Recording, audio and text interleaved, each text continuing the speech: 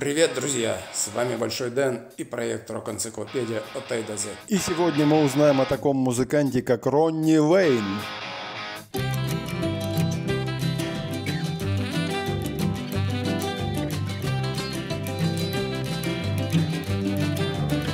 Этот музыкант известен как басист Small Faces и Faces, но он участвовал и в других проектах, а также пытался делать сольную карьеру, пока его не подкосила болезнь.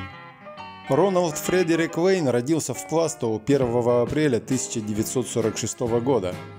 Его первым инструментом была шестиструнная гитара, а его первый ансамбль, который он создал на пару с барабанщиком Кенни Джонсом, назывался The Outcasts. Когда Ронни решил переключиться на бас и направился за его покупкой в музыкальный магазин, то встретил там Стива Мэриота. Парни быстро нашли общий язык, и в конечном итоге их знакомство привело к появлению группы Small Faces. Команда стала одним из лидеров модовского движения, причем многие из ее хитов были созданы при непосредственном участии Уэйна. Тем не менее, определенные проблемы в коллективе имелись, и после ухода Мэриота ансамбль оказался на грани распада. Впрочем, оставшиеся музыканты все же нашли выход из положения и, скооперировавшись с Родом Стюартом, продолжили деятельность под маркой Faces. В обновленной команде Ронни по-прежнему активно участвовал в творческом процессе и помимо других вещей приложил руку к созданию таких хитов, как «Уля-ля», «Had Me a Real Good Time» и «Дебри». Кроме того, он изредка исполнял и партии лидер вокала, однако со временем рок-н-ролльная жизнь музыканта притомила, да и поведение все отдаляющегося Стюарта ему не нравилось, и в конце концов Вейн ушел из Faces. Сменив огни большого города на деревенские пейзажи, Ронни осел где-то на ферме в Уэльсе и собрал вокруг себя подобие музыкальной коммуны. Вейн и его партнеры жили в сараях и палатках и периодически устраивали в местном пабе сессии, которые могли растягиваться на несколько часов и даже дней. Четкого состава у этой организации не имелось, но ее гостями были многие известные личности. Например, Иэн Стюарт, Пит Таунзенд и Эрик Клэптон. Ронни пригнал на новое место дислокации свою мобильную студию, поэтому музыканты могли не только играть вживую, но и записываться. Кстати, сам Уэйн управлялся не только с басом, но и с лидер-гитарой, а большинство инструментов в его команде было акустическими. В 1973 его проект получил название Slim Chance, и при содействии этой группы Ронни записал сольник Anymore for Anymore.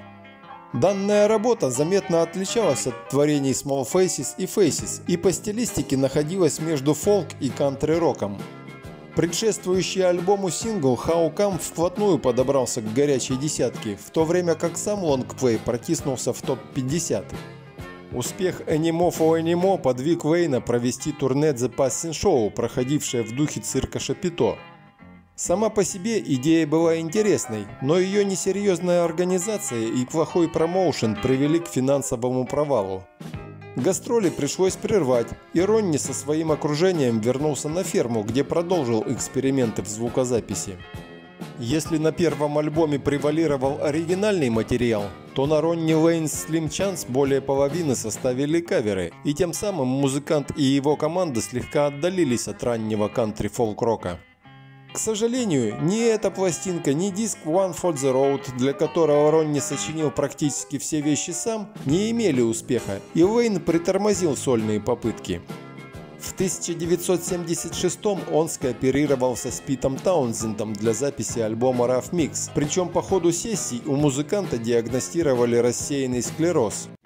Болезнь серьезно осложнила жизнь Ронни, но все же в 1979 он выпустил еще один сольник, в создании которого ему помогли коллеги по Slim Chance и Эрик Клэптон.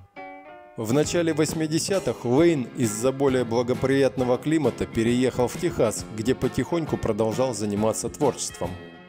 В 1990-м ему даже удалось провести японские гастроли, но состояние здоровья продолжало ухудшаться, и в 1992-м Ронни последний раз поднялся на сцену. Музыкант скончался 4 июня 1997 года.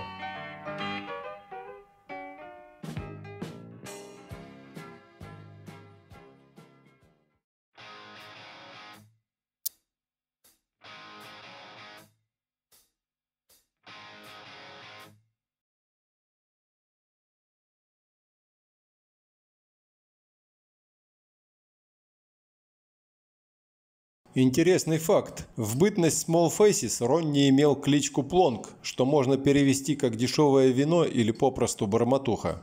Позже в Faces у него появилось другое прозвище – Three Piece, то есть что-то типа трехкомпонентный или тройка.